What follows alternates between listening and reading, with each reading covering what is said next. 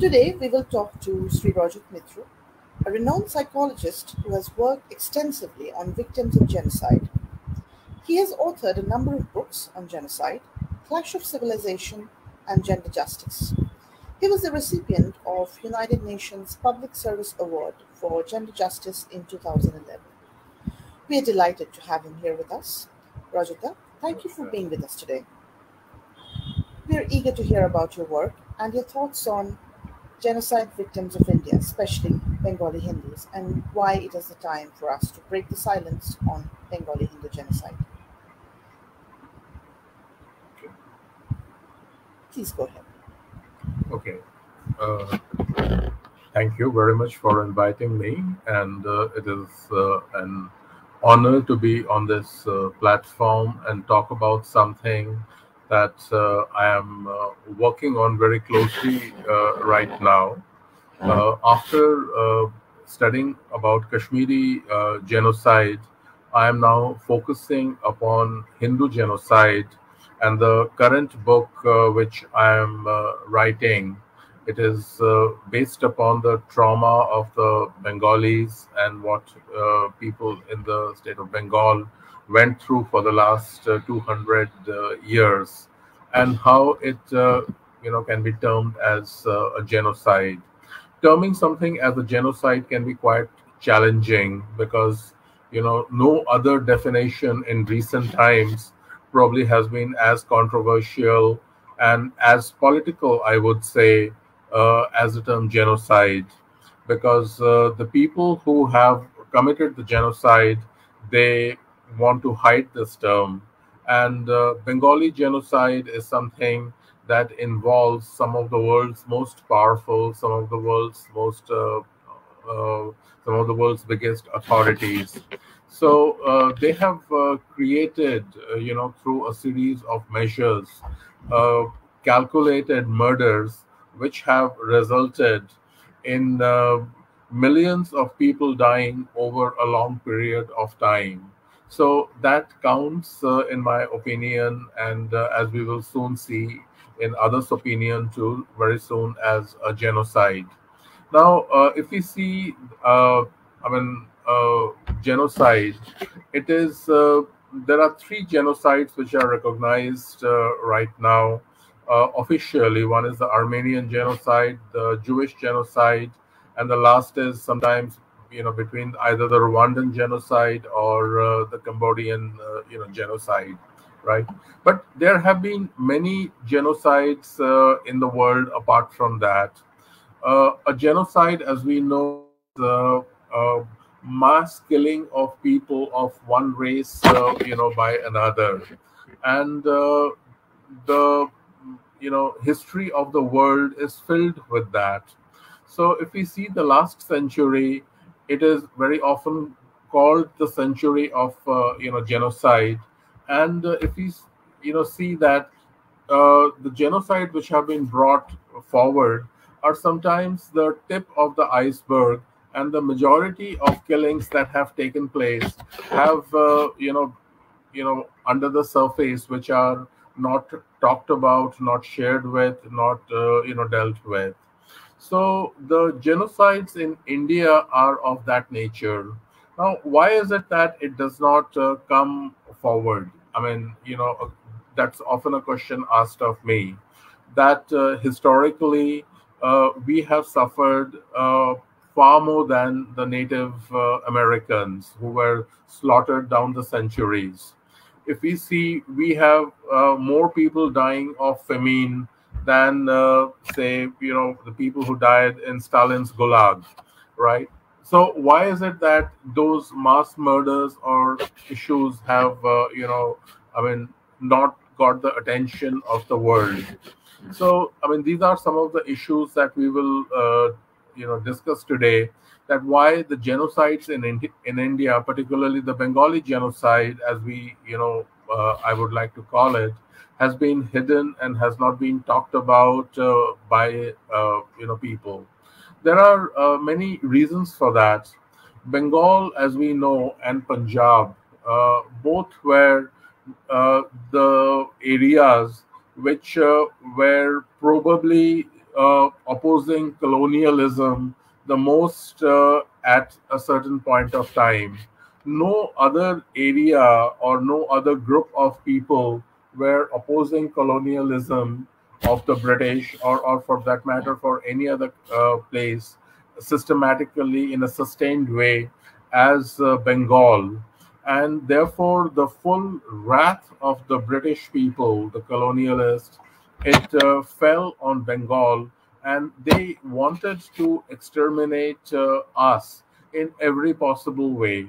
Now, uh, extermination is just not, uh, you know, done by developing a concentration camp and killing and sending people to gas ovens.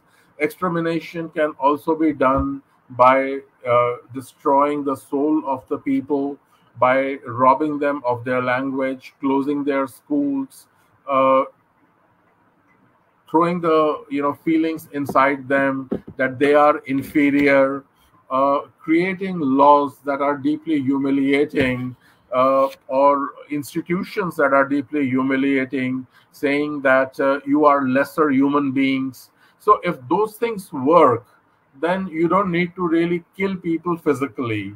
And that is what uh, I would say the Bengal genocide, particularly, has been all about.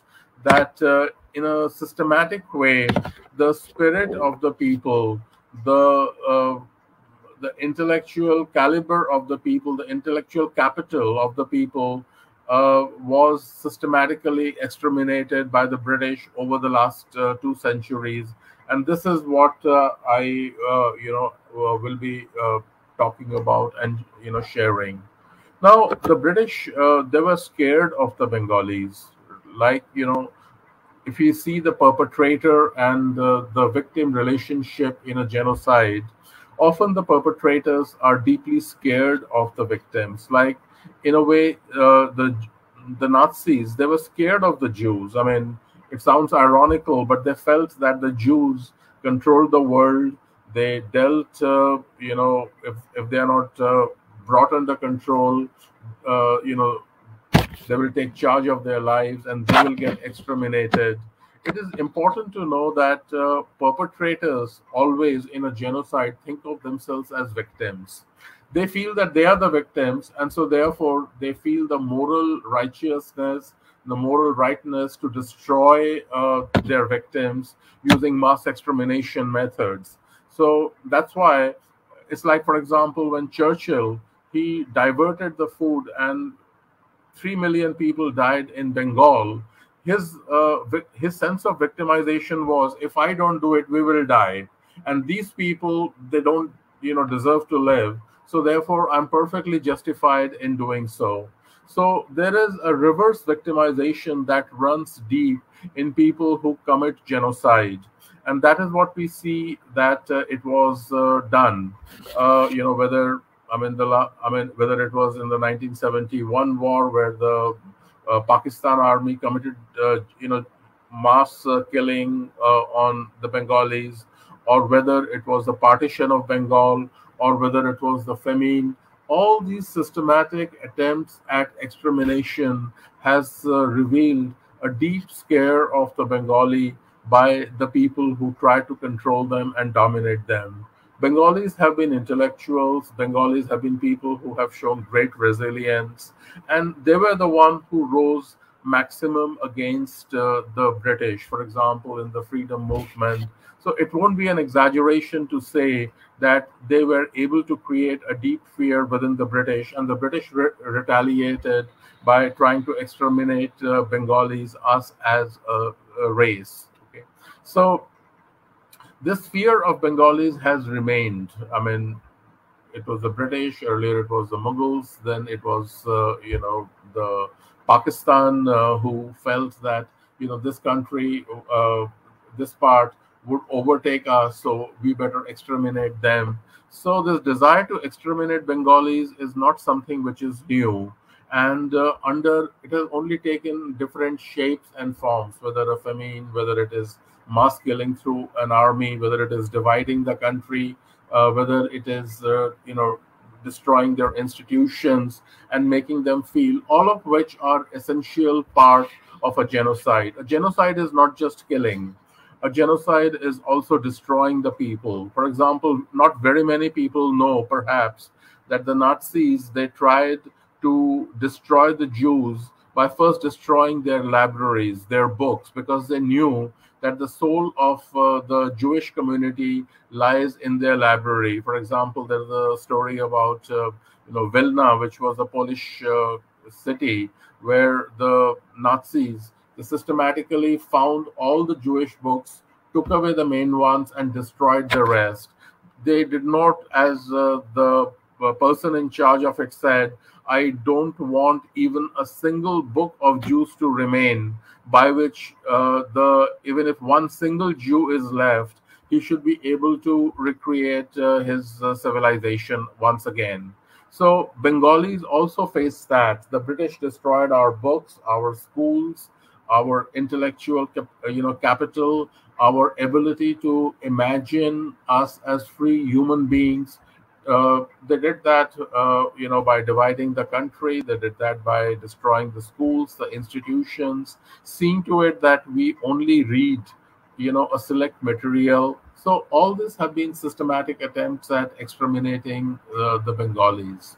Now the Bengalis have, uh, unfortunately, not spoken about it. And as a psychologist, when I ask people so the I noticed two kinds of responses.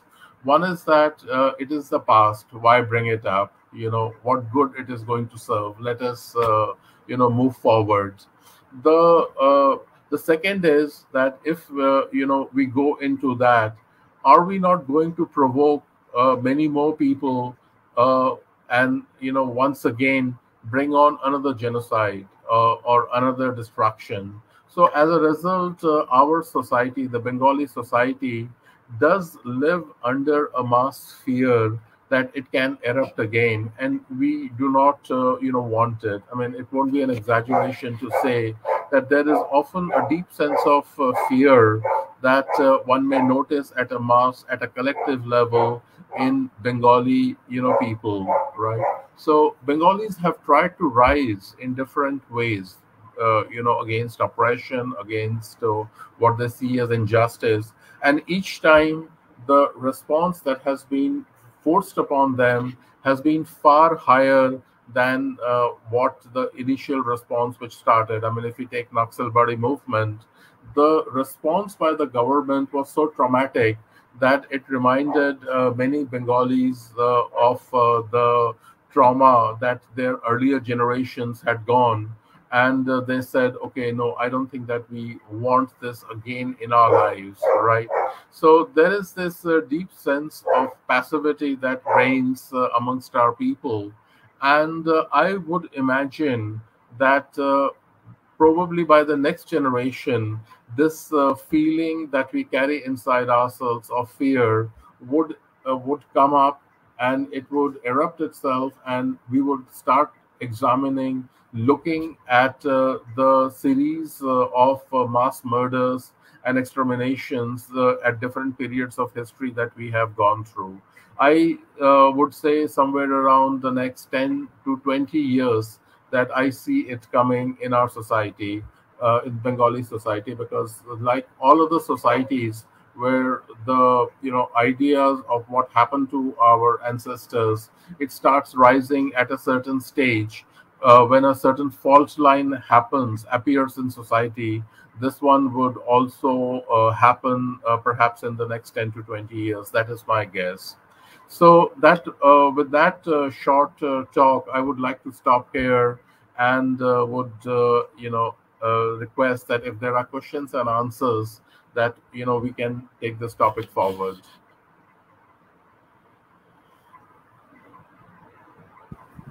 Uh, thank you, Rajada. That was a wonderful presentation. Um, yes, we, we do have um, a few questions.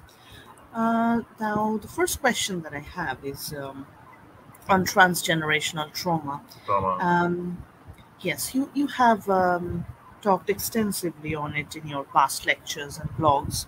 So, my question is what is transgenerational trauma and how does it affect the victims of genocide? Okay. Uh, uh, yes, I have. I'm working on transgenerational trauma, and this is uh, one of the, uh, you know, my favorite topics. Um, now, transgenerational trauma is uh, something in which we, you know, when we know that uh, first we we have to understand trauma.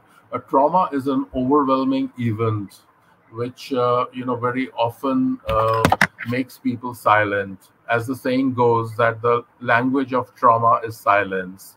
So uh, the generation that faces the trauma, the overwhelming event, uh, has to think of survival. So, for example, the generation that faced uh, the division of Bengal had to go silent, uh, you know, in order to survive, right? Because it was too big, too overwhelming and event.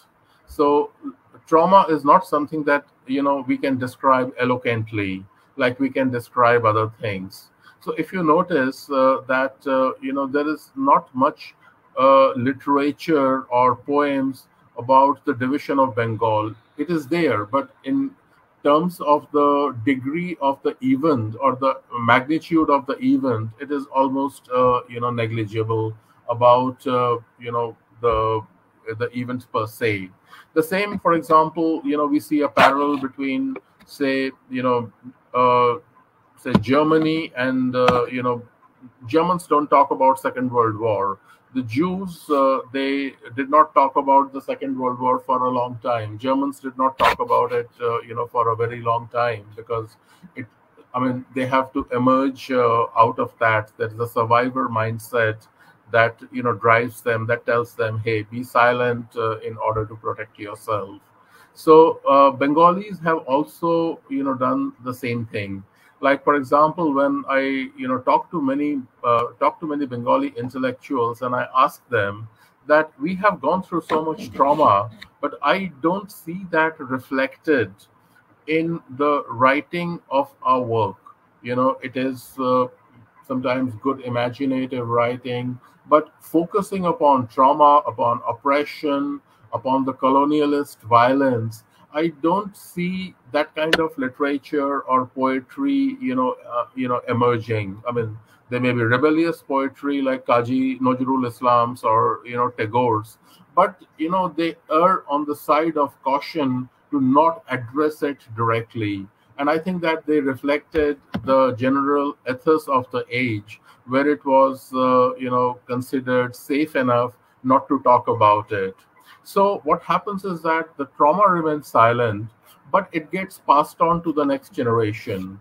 And it happens in two ways. I mean, there is something called epigenetic transmission and also through silence. So, for example, the topics that we don't talk about in our family, we know what topics they are.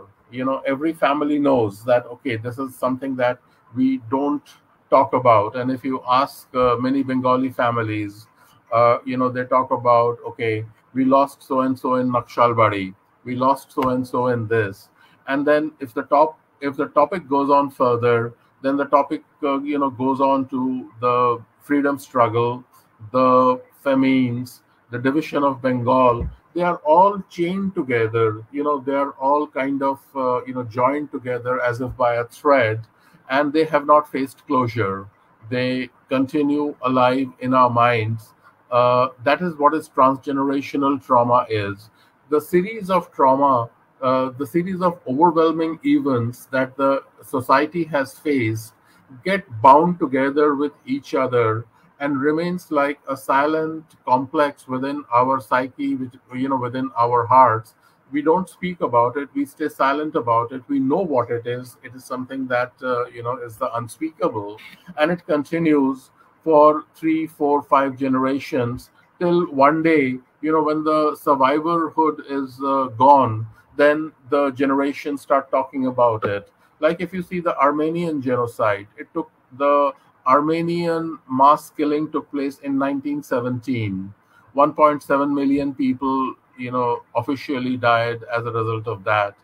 The people who raised it were in the uh, you know were in the uh, in the 1990s in the you know 2000 that is the stage when the whole thing started coming up the stories what they had hidden for that long because an overwhelming event or trauma, it cannot be also hidden forever.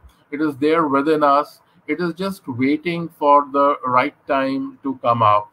So that is the our Bengali trauma too. It is, uh, you know, we have gone through series of uh, overwhelming events that has affected us as a community, scaring us, making us think of survival. And when the survival feeling, you know, goes down and reaches a certain threshold, we will start talking about it. So that is transgenerational trauma, uh, as uh, I would like to share. That's uh, wonderfully explained. Um, now, you said that um, the transgenerational trauma it stays for uh, three, four, or five generations before the next generation start talking about it. So, with each passing generation, does the effect of this trauma go up, or does it go down, or does it stay the same? Uh, it does not go up or down. It uh, remains as what we say as traumatic memory. You know, uh, like you know, we have normal memory. Normal memory reduces. You know, it is like over a period of time.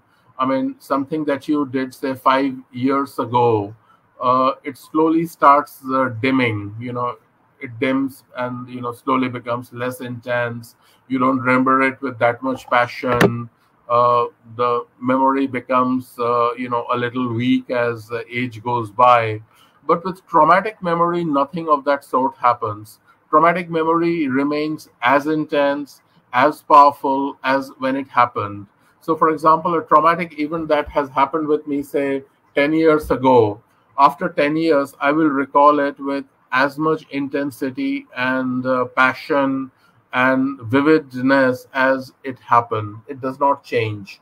So, uh, brain studies have also shown that traumatic, you know, traumatic memory remains encapsulated in our head and does not undergo a change. It remains, uh, by and large, the same, right? Now, what happens with uh, traumatic memory, like, for example, studies with children who went through, say, a trauma at an early age, it shows that when they grow up, they may not remember what exactly happened, but there are certain symptoms, certain signs uh, by which they recall that something terrible took place uh, very early in the what you know what we call in the preverbal stage.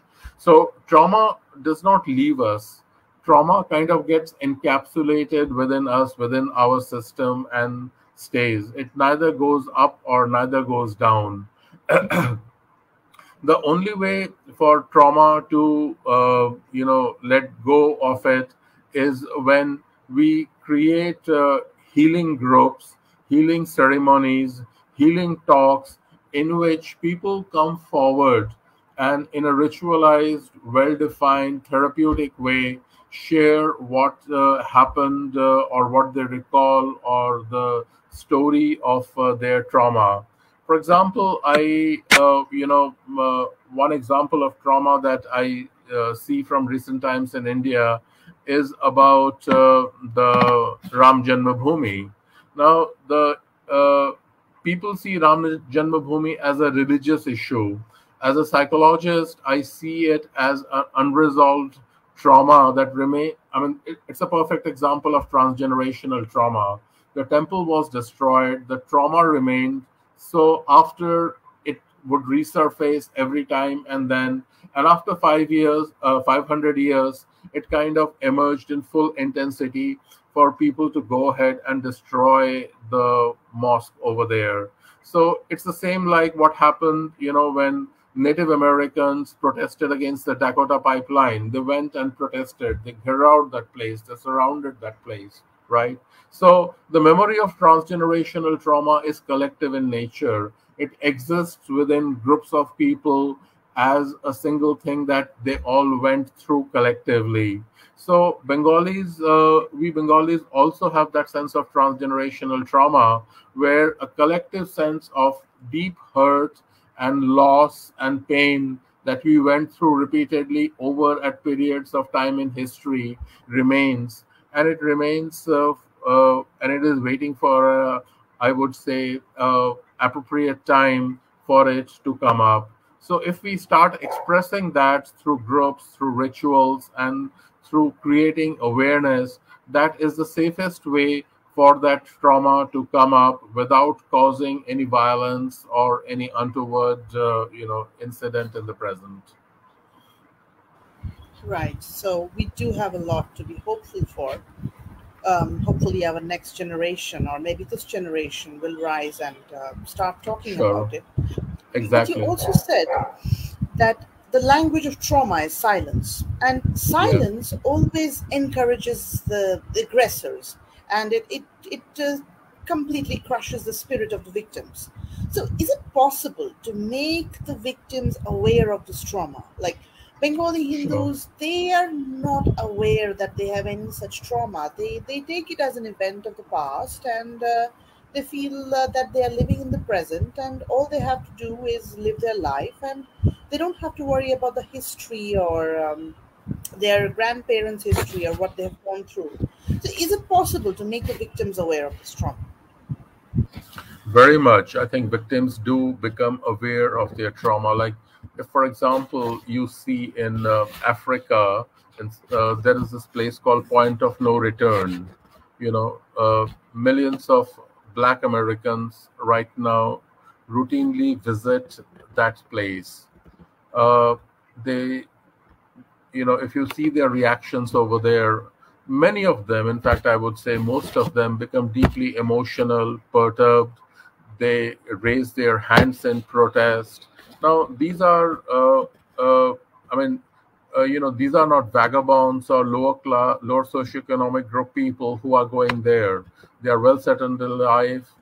They are doing well. Everything is going fine for them. So why are all these people in thousands and hundreds of thousands going over there from where their ancestors were brought back. I mean, there are so many better places in the world if one can, you know, say they can go to, but they choose to go to that place, right? So, what is it? What is the appeal of that uh, place for all these people? And why do knowing that they would get disturbed, they would get upset, they go over there? Because the memory of that remains. You know, when Michelle Obama talked about that uh, you know she writes it in her memoir that when she was uh, sitting at her window and she saw her daughters playing in the front yard and uh, she could not stop crying you know the the, the feeling of sadness and tears uh, you know came up in an overwhelming way because she thought uh, that you know five generations ago uh, you know her uh, family they were slaves.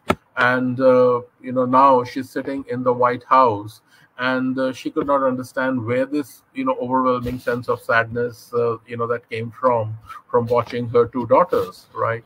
So the sadness or the trauma or uh, the uh, you know feeling uh, it remains. It only you know it is suppressed. We suppress that. And as you said a lot of bengalis are suppressing it right now they say ki ki hobe kore keno korbo you know uh, let past and bygone be bygones. But that is something talked by victims everywhere you know it is not something just us. And uh, it just waits for the perception of the environment around me as safe as changed for it to emerge. So that will happen with us too very soon. There are no techniques or methods as such it is that there are certain fault lines, there are certain changes, structural changes that a society undergoes as a result of which its fault lines, it is, you know, it's the the deeper feelings held by people for generation just bursts, uh, you know, out. So we have to just wait for that. Right. Now I wanted to talk about um, Stockholm syndrome. Yeah. Um, as as you know now that um, it's not just in India, but in world over, we have uh, a lot of conflicts going on between Hindus and other communities. Like recently, uh, we've had. um I think uh, we were right in the middle of an intense conflict in, in Leicestershire and in, in Yeah. UK, and um, there was one in Canada recently. Yeah. And uh, in the US as well, I see that um, uh, Hindus have been receiving flack from the left wingers and the right wingers. So we have no friends anywhere. Now that that is um, that is one thing to think about. Another thing is among the left wingers and the right wingers who are attacking us in US, many of them are Indians themselves. So Yeah.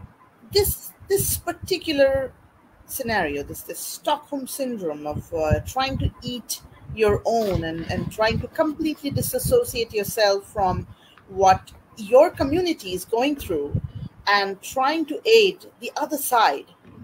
Is this also one of the symptoms of, of transgenerational trauma, or, or is it a completely different set of feeling? Uh, I would not say that it is completely different, but uh, what I would like to say is that uh, you know what we see happening in England, in Leicester, and uh, in um, in Canada. Uh, what Hindus are doing over there is something that they have done for centuries.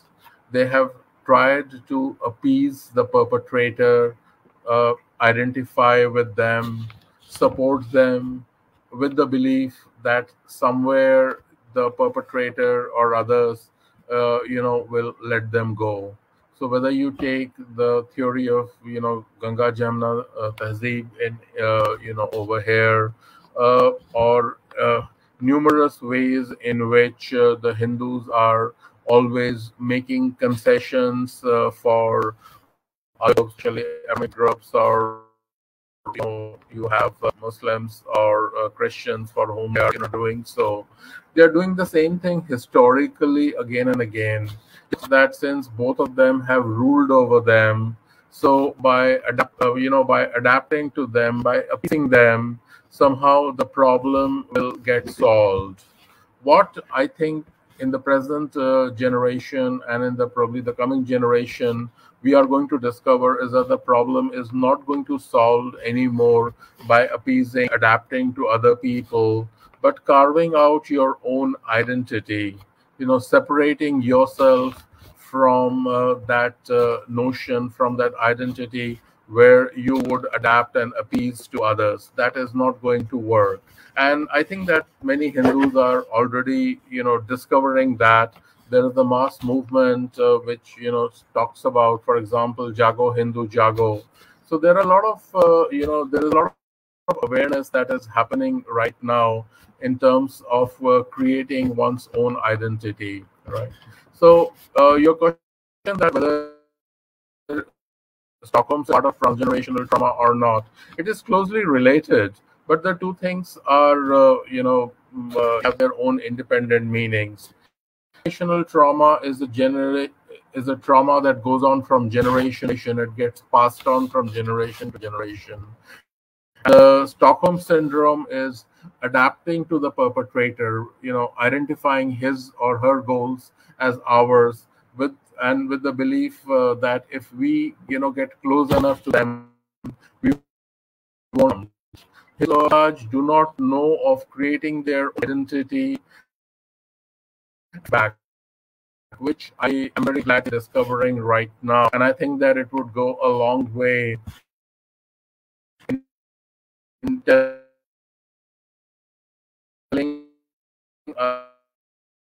us that you know friends you know uh, on our own. We have the strength to do that. Right. Um, now let's talk about the other side of the spectrum, the, the victors of the genocide. Now, you've worked with the Islamists in Thailand and uh, uh, convicted terrorists in Indian prison. So, do you think the victors of the genocide do they go through any kind of remorse or guilt, or um, do they go through some sort of uh, victor's relief? What about the next generation of these uh, victors of genocide? Do they go through any kind of remorse or guilt? Is it possible to uh, make them feel guilty for the action of uh, their own or their forefathers? it's uh, it's very um, it's very difficult uh, but not impossible. Like what the jews uh, you know did when they tried to tell the world of the you know the anti-semite nature i mean it pervades everywhere. They,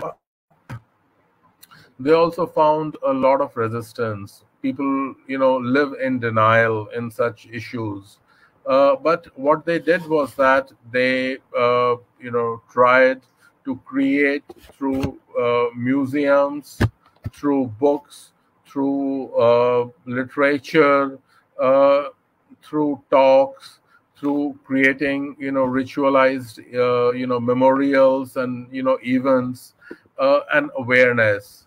And it is something which is an ongoing process. It is not going to stop I mean, they realize that they have to do it every day, uh, day after day, maybe for another century. So it is something that we also have to do. We have to be convinced of it ourselves, what has happened to us.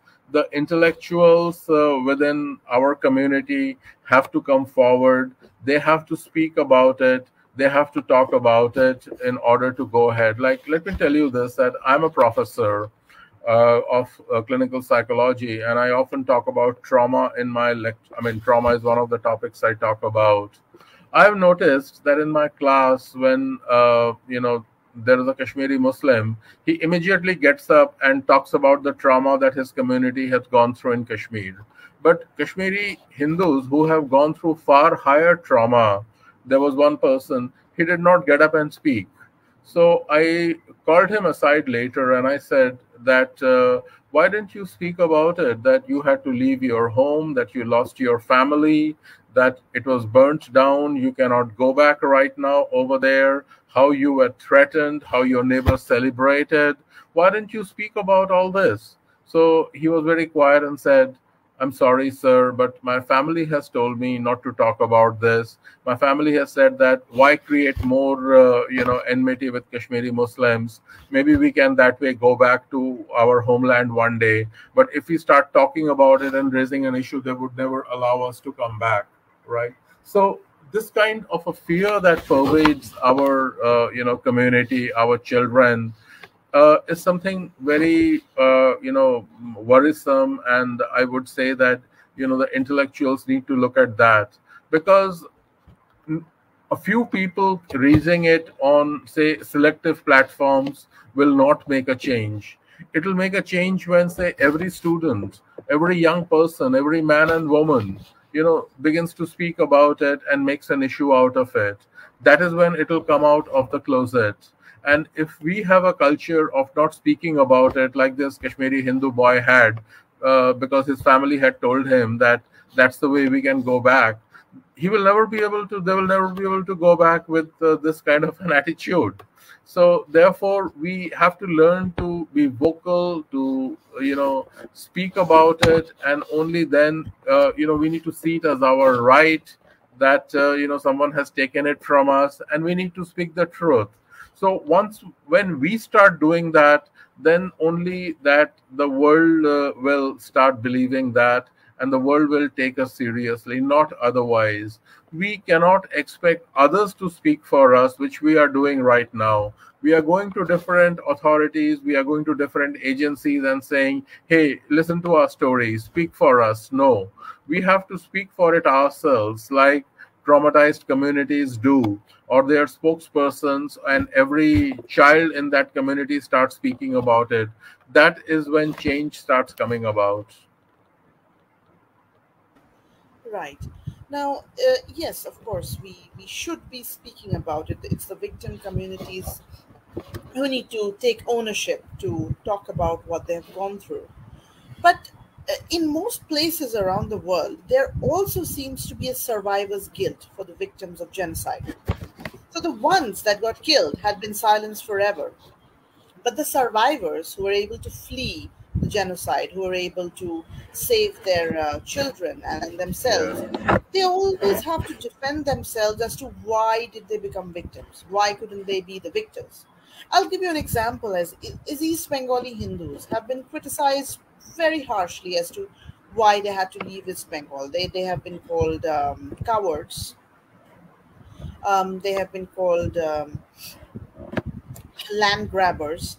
They've been called many other names, which uh, yeah, very slang. Basically, right, which which basically um, points out to the fact that uh, they had to leave either because they were not brave enough, um, that they were, um, uh, you know, they, they were not strong enough, or uh, they were not smart enough to understand the dangers and uh, fight back. So, and, and the funny thing is, the critics are also mostly from the Hindutva brigade, the ones that we expect to be sympathetic to our, our cause. So, why is there this culture of victim blaming among the victims themselves? Because the other Hindus are also a victim groups. So, what, what causes people to assume that the victims of genocide must have done something to, to, to, to, deserve it? Uh, victim blaming is uh, quite universal. It is not limited to any particular geographic region. The Jews were blamed. Every every group of victims has been blamed, uh, saying that if only you had not done this, then it would uh, you know have been different and uh, the the people who blame are also you know within the community and also outside the community. The reason for victim blaming often uh, lies in the fact that uh, if we don't blame the victim what do we have to do? It will uh, we have to look at a mirror in our face and say that uh, okay what could what i should have done differently right? Now, for example, let's take that uh, in 94, the um, uh, Jewish, uh, the Holocaust Memorial was built. I have been there several times, but the, it was not easy to build the Holocaust Memorial. 45 and 94, almost 50 years, right? why did America wait for 50 years to build a Holocaust memorial? The Jews they wanted, land was not the problem, exhibits were, were not the problem, they had all that. The issue was that America failed the Jews. They did not rescue the Jews. Their president knew about what was happening. If he had wanted, he could have, uh, you know, gone ahead and made an issue out of it and, you know, done it. He did nothing. American establishment failed uh, and they don't want to acknowledge it in front of the world the leader of the you know free world same for the rest of the world europe everywhere else they did nothing for the jews so by blaming the jews they keep the issue away from themselves that yes we did not you know i mean you know we did not do anything so it's the same for us also you know in uh, the fact is that uh, uh, if you see the book, The Blood Telegram, America knew about the genocide of uh, Bengali Hindus in the 1971 war, right? The US, they decided to keep silent and do nothing. In fact, they went ahead and supported Pakistan. They, in fact, uh, you know, helped further in the genocide. Now, this is not a history that they want to be known, right? So, uh, if you see others also, if you see Britain's colonial history, they don't want it to be known the degree of uh, mass murders they have committed in Kenya, in Africa, in India, and uh, in all other places, right? So they want it to be hidden. So the opposite side of the coin of victim blaming is, uh, you know, taking ownership, taking accountability for those people who should have done something and who did nothing so that's why uh, victim blaming is uh, used in order to shift responsibility, you know, from uh, you know oneself. Right? Nobody wants to face that. In fact, you know, as I said in the beginning of the talk, arriving at the definition of genocide was the most difficult. Every country of the Security Council, America, Russia, China, England, France, they uh, wanted to make it sure that uh, whatever is the definition, their country and what they have done to the rest of the world should not come within that purview, right? Russia did not want to say of the mass killings in their country. France did not, and Britain, they didn't want to talk about their colonialism and what happened. That should come under genocide. America did not want its history of Native Americans. So everybody wanted to avoid that. So its definition is so contentious and uh, that's simply because the focus turns away to responsive you know to the responsibility that you never took. Right. Now uh, hindus across all ethnicities have gone through some attempts of genocide at some point. So we have we do have uh, similar collective grief. But grief has never been able to unite us. But it has created a kind of culture of uh, uh, grief thumping where one community will try to put another down because they've had to deal with a little less grief than the other. And sometimes they will try to put another down for completely opposite reason that uh, they've had to deal with significantly more grief than the other is this a typical victim behavior that instead of uh, taking it out on the aggressors we try to take it out on other victims uh, that's a very good question, and uh, I would like to say this that uh, you know since I uh, um, I specialize in grief work. I grief is my area of studies apart from transgenerational trauma. There are certain things about grief that we need to, uh, you know, perhaps I, I can share it with the listeners of uh, this. One is that grief is universal you know, which uh, which simply means uh, that the nature of grief faced uh, by people across the world is, uh, you know, by and large the same. And the thing is that when I understand that, hey, my grief is the same as yours, it binds me deeply with another person, right?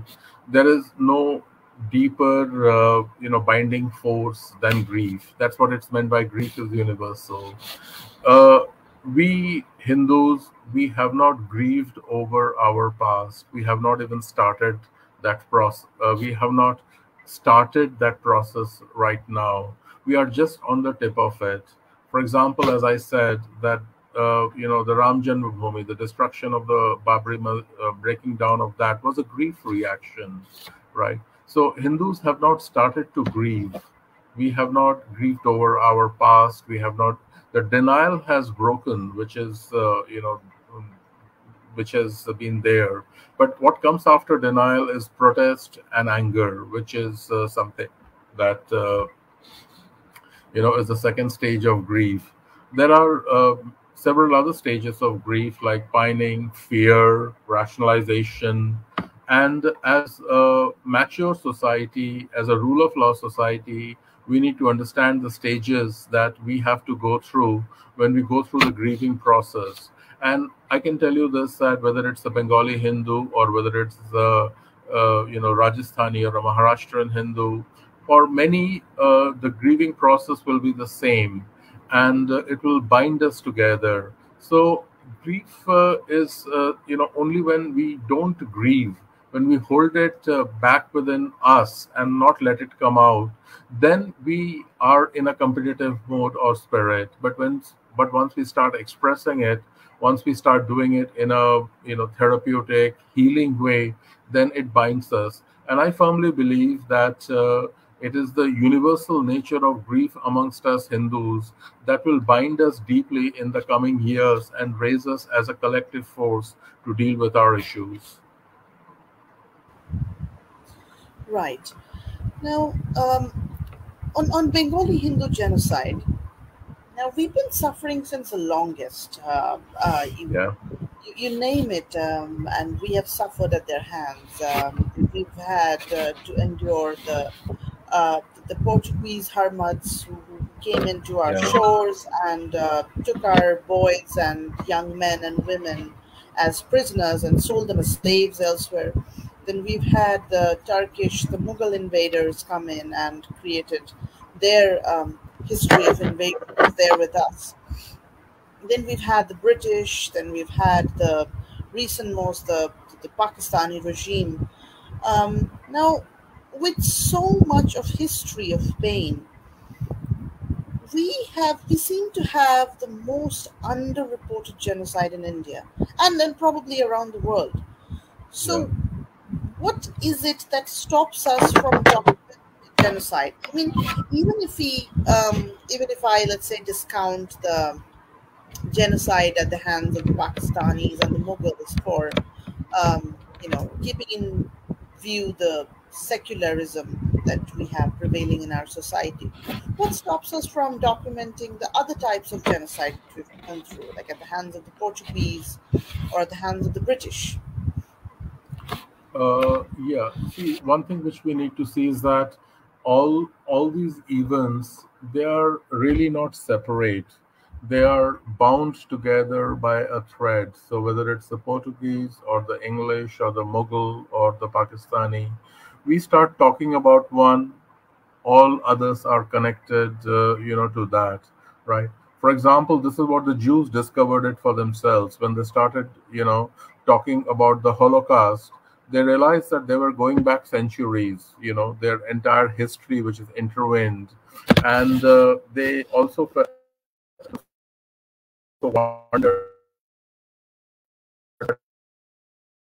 why was that society ready you know in order to absorb the shock of uh, what it has gone through it needs a healing space. It needs its intellectuals to come forward and create that healing space in which people can express their pain. So if tomorrow we start talking about the genocide done by the pakistani soldiers along with that you know tied by the same thread we would talk about uh, other uh, mass violence, mass killings that have taken place upon us, and it'll all go back. It is all tied together. It is not. It is first of all not separate. Let's, you know, put it like that. We have not faced. I mean,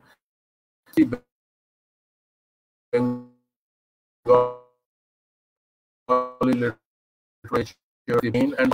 No. Talk about uh, 71. No. Do we talk about partition? Do we talk about freedom struggle? What we went through, the betrayal of uh, the Bengali revolutionaries uh, by others. You know, Bengal contributed so much uh, for the Indian freedom struggle. In fact, it, India would not have become free without Subhash Chandra Bose, and uh, you know, they were they caused the English to run away but uh, the thing is that we have not come forward and uh, you know spoken about it asserted ourselves uh, that what really happened. I mean uh, as i'm writing my current book right now it's almost in the finishing stage. It is a, it's called the island without a shore.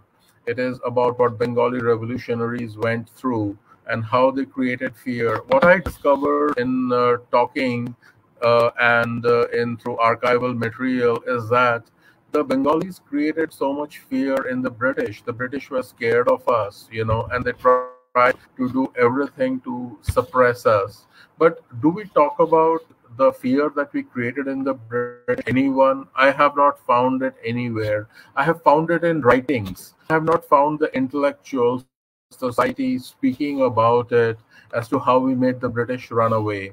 When we start talking about that, the you know that will be the next stage when uh, uh, we will be taken seriously. That is my firm belief. Right. No, I, I also want to raise this issue here. Um, when we when we talk about Bengali Hindu genocide, I would like to point out that there was a time when Bengali itself, the word itself meant Bengali Hindu. Now, today, um, because yeah. of our shrinking population, the word Bengali has been completely hijacked from us. And today, Bengali means um, mostly to, to the global audience, Bengali means a Bengali speaking Muslim. So on, right. on this stage, the, the identity, the theft of our identity, how do we recover that? Because I believe that that is also a part of genocide. It's not just killing people, sure. but taking away their, their identity. Yes, robbing them of their very identity. Yeah. How do we recover that? Because this is um, this has created a sense of confusion for us because when we talk about let's say like yeah. durga puja is very very close by we are like uh, a week away from it today being mahalaya so when we say that durga puja is the biggest celebration of bengalis we have lots of bengali speaking muslims coming up and saying that no it is not. It's it's eid because um, there are more bengali speaking muslims than bengali speaking hindus. And the fact that bengali identity itself has been hijacked from us so specifically now, Durga Puja is no longer a Bengali celebration. It's more like a Bengali the biggest Bengal. celebration. Mm. Yeah. Right. So, so uh, as you see, the theft of this identity has created um, an unimaginable kind of crisis for us. So, how Yeah. do we recover from that? Because genocide is such a, um, you know, it, it's such a, uh broad issue. It has cultural, religious, political, all kinds of aspects. So, is it possible for us to um, recover our identity and our, and our culture, and not just um, recover from the trauma of death and loss or pain? Yeah, I think uh, that's a very important question you raised. The thing is that, yes, uh, the average uh, Bengali is still not aware that his identity is under threat. This happens when there is a clash. Like, for example, last year, uh, you know, when there was a problem regarding the timings uh, of the immersion, uh, it, many people became aware of the fact that hey our identity is really right now under threat. So uh, we have to feel collectively as a society that our identity is a threat and that will come up more and more as these crises come up. And we start realizing that uh, you know there are other groups which are trying to push us us uh, edge us uh, up. And uh, i think that will uh, you know when we are pushed around probably that is the time when uh, we will head and spawn back and is our identity. Uh, I'd also like to talk about the, the partition of. Uh,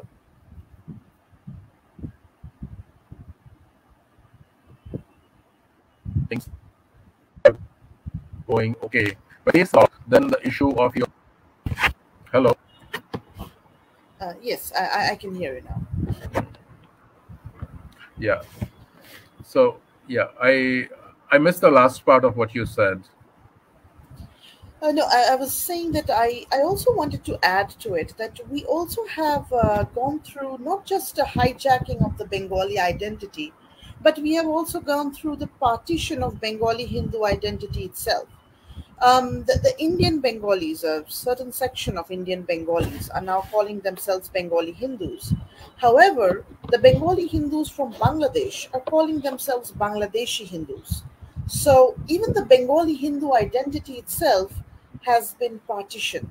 So I feel like as a global, I mean, in in um, Europe or US, where we could have collectively fought and created diaspora, and uh, talked about our genocide in, in India as well as in uh, Bangladesh. Um, now we have two separate identities. Um, I, I have seen that in Europe and US, Yeah. there are separate Bengali Hindu associations and separate Bangladeshi Hindu associations. Whereas we could have come together and created those associations um, um, together and uh, uh, brought up our issues uh, in Yeah. the Yeah. Uh, that's a very uh, that's a very important question. I think uh, the Bengali um, the Bengali Hindus the, uh, and the Bangladeshi Hindus they uh, want both of them that some part of their roots remain intact. So they may have different associations, but I feel that it is possible very much to come uh, together on certain issues. Okay. Uh, and uh, I would say that you know merging of the association will not lead to merging of uh, the two identities but our identity has certain universals and grief is one of them so if we have uh, a talk about say grief if we have a talk about what binds us together so that is something that can be overpowering in terms of joining the two people and identities together. So uh, that's what i feel is something which is currently you know uh, i won't say lacking but it i would say that it is very much on its way. There is uh, a slowly you know a sense growing towards the commonality the universal the universality between us. And the more we focus about it the more this threat about bengali hindu identity you know vanishing perhaps will go away. That is my strong belief. Right, and this is my last uh, question on this topic. and the last question for today that in, in Bangladesh as well as in Kashmir, we have seen one of the greatest similarities from the aggressors. Um, Yeah. in, in Kashmir, also, the Kashmiri Pandits were denied the identity of Kashmiri in totality. They were called Pandits, not Yeah. Kashmiri Pandits, not Kashmiri Hindus, but just Pandits. Whereas the Kashmiri Muslims were known as Kashmiris. Yeah. And similarly, we see that in Bangladesh itself, the, the, the Muslims, the Bengali speaking Muslims, call themselves Bengalis, but refer to the Bengali speaking Hindus, who are the original Bengalis, as simply Hindus, as if they have Yeah. no connection to the soil. Bengal. Yeah. So, so this disassociation to the soil, which creates or which which adds to another level of problem for us, because when we go to the global diaspora, when we go to the United Nations to claim the the, the torture that we are facing, we are not able to establish that we are the original sons of the soil, because you see the identity itself we are hindus only hindus whereas the, Beng- the bengali speaking muslims are bengalis from bangladesh. So to a third person let's say to a chinese or to an american they can see the association between the two words bangladesh and bengalis so to them it would naturally seem that bengalis or bengali speaking muslims are sons of the soil of bangladesh whereas hindus it has no similarity with the word Bangladesh. So therefore, there must be some form of outsiders. So it it denies us the sympathy that we could have gotten from the global audience. So even if we bring up our genocide, the hijacking of our identity or or our complete lack of awareness towards it is creating a very difficult situation for us. What what are your thoughts on that? Since you are um, living in the U.S., what uh, what do you feel? Does that uh, Mhm. Okay, I'm not living in the US. I'm living in India right now. I So see? Okay. yeah, I'm living in India at the moment, but I've been uh, been to US many times and uh, you know been there. Uh, the first is that, as I said, it's the it's the pro it's the multi-dimensional process. You know, one has to do it through uh, not only at the United Nations level, but also at uh, the level of uh, films, literature, many other ways, you know, in which you capture the intellectual space across uh, the universities. What we do is that, you know, we if we try to limit ourselves only to certain forums or one or two forums, then we are not going to succeed uh, very well.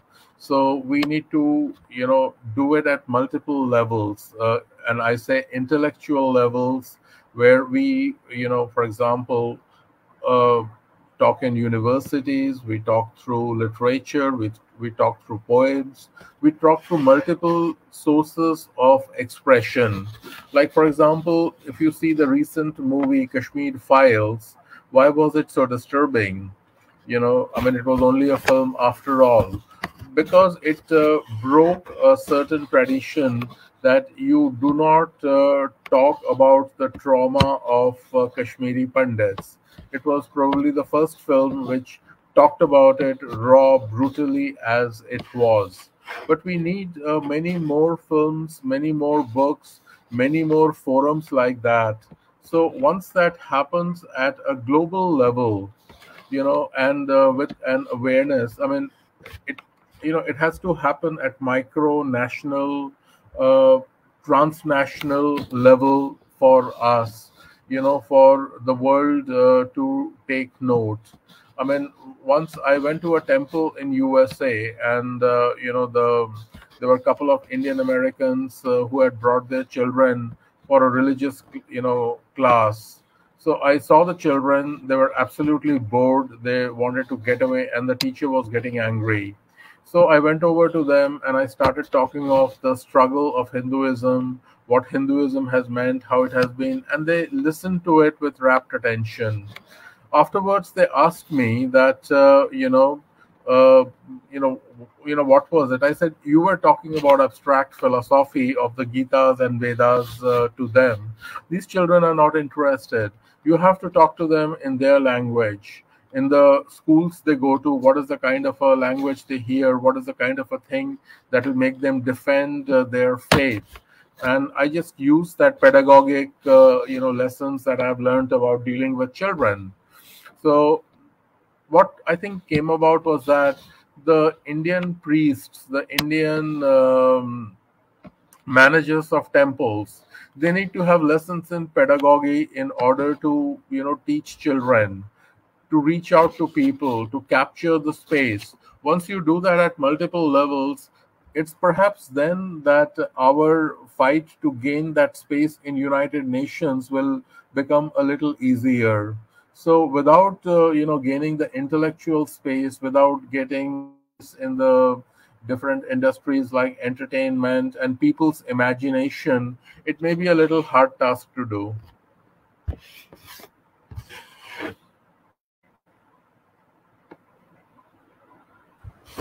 right um, it was a wonderful discussion. Thank you for the word of hope, Rajata. May our future be brighter than our present.